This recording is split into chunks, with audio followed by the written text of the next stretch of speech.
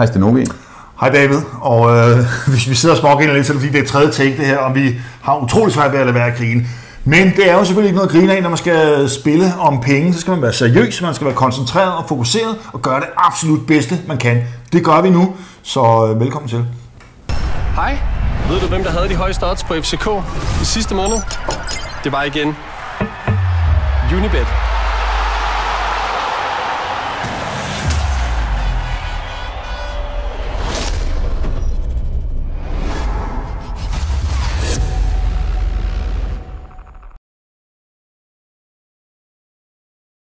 Så kunne vi være der. Så kunne vi være der, og det er jo naturligvis opgøret AGF FC København søndag aften kl. 20.00 i Aarhus, vi skal være fokuseret på.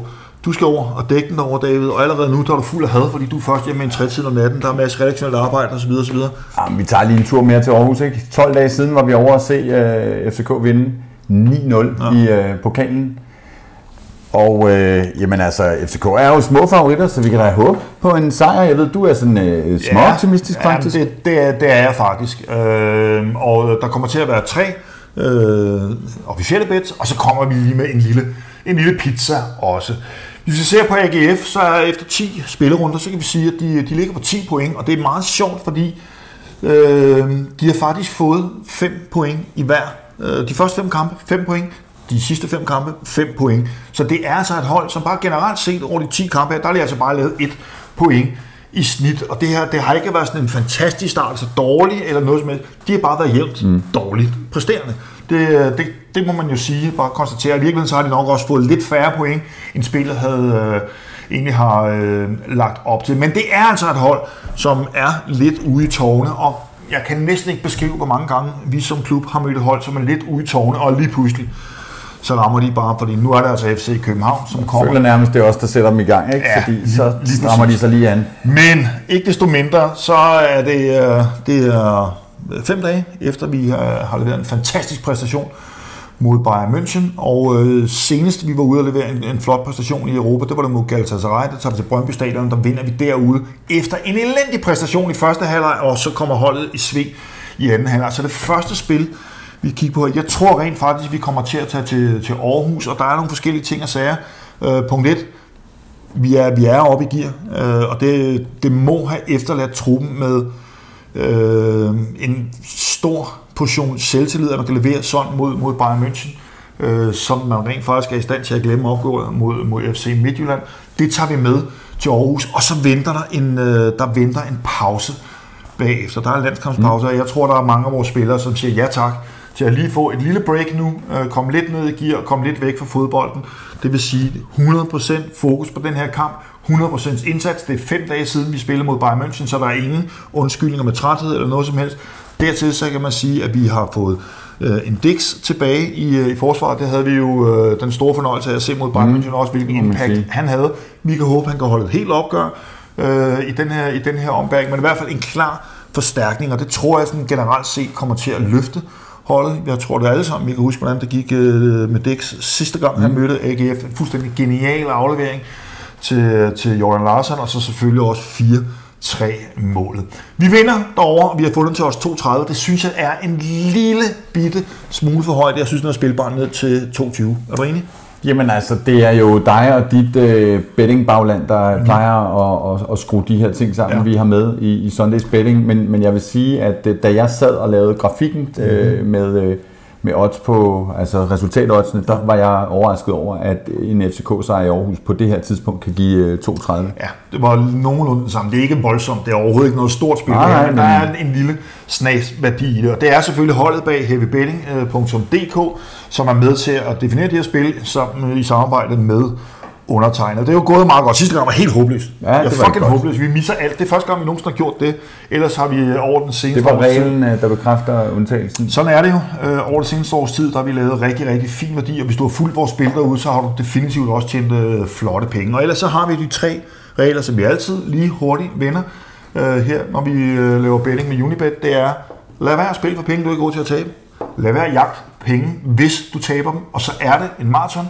Det er ikke en sprint. Så tålmodighed, det er et, et resultat på dagen, det siger intet om, om du er god eller dårlig. Tag vurdering om et halvt til et helt år, så kan man bedre, så kan man bedre tage den vurdering. Videre til næste spil. Øh, jeg tænker, vi kigger hjørnespil, mm-hmm. og der kigger vi AGF-vejen, fordi jeg kunne godt se, at AGF de kommer til at komme til en del øh, hjørnespark derover. Jeg, kunne, jeg har lidt en fornemmelse af, at AGF de, de vil prøve lidt overfaldsfodbold til at starte med. Øh, senest mod, mod Brøndby, efter nogen, en situation, der minder en lille smule om det, der kommer Brøndby også væltende ud mm. af starthullet, og det kunne jeg godt forestille mig, at AGF kommer til at gøre år også. Hvis vi ser på de seneste to opgør, vi har haft mod AGF på Aarhus Stadion, så har de fået henholdsvis 9 og 7 hjørnespark, så derfor så tager vi en line, som hedder over 5,5 hjørnespark den her gang, og den har vi fundet til odds 2,23 spilbar ned til, til 2,15. Den, øh, den skal have, den skal have en lille snas. Mm.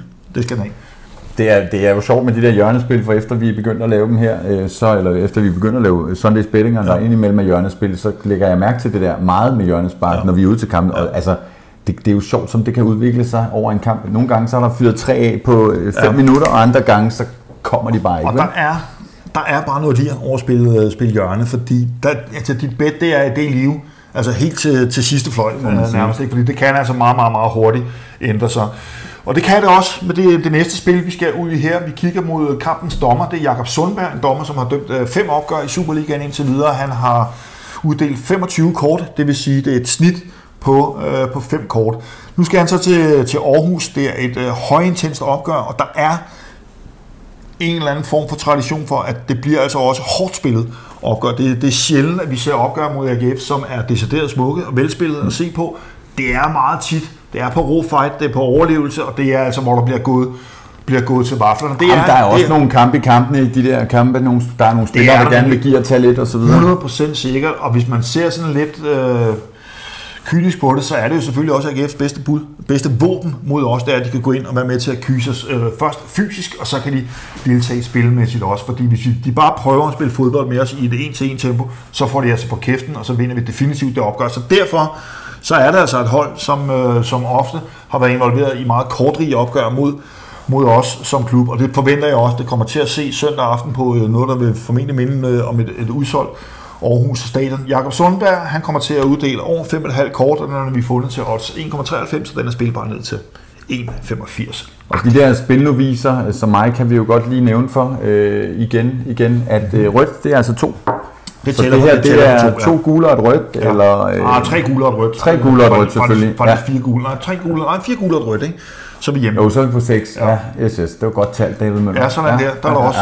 Ja, ja, ja. Eller seks øh, gule rent. Jeg er i gang med at samle ind til en kugleramme til dig. Ja, ja, ja. Men David, vi skal jo traditionen tro også lige have et lille ja. pizzabet, og det er jo her, hvor vi går ind i det lidt mere højoddsagtige segment, som mange synes er skide sjovt at spille på.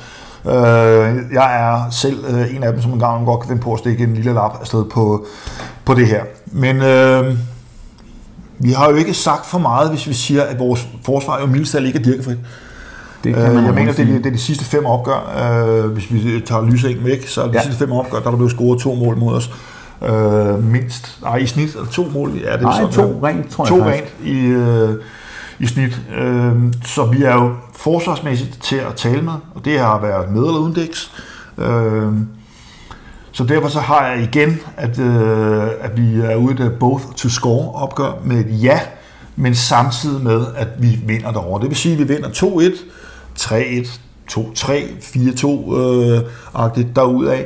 Altså, vi vinder kampen, men begge hold scorer, og den har jeg fundet til noget, som jeg synes er et, øh, et, faktisk et rigtig, rigtig fint odds til odds 4,8. Mm. Den synes jeg spiller ja. ned til, til 64. Den, øh, den skal jeg selv uddanne lidt på. Den yes, ja, men BTS'erne har også været god ved mig ja. i min interne konkurrence ja. med Jes Dorf og så videre, så yes.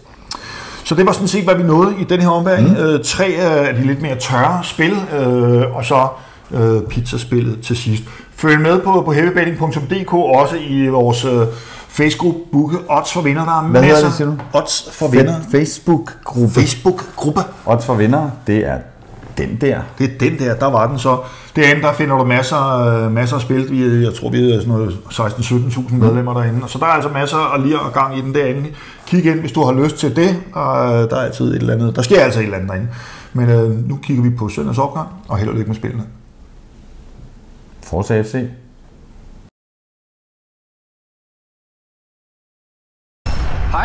Ved du, hvem der havde de højeste odds på FCK i sidste måned? Det var igen Unibet.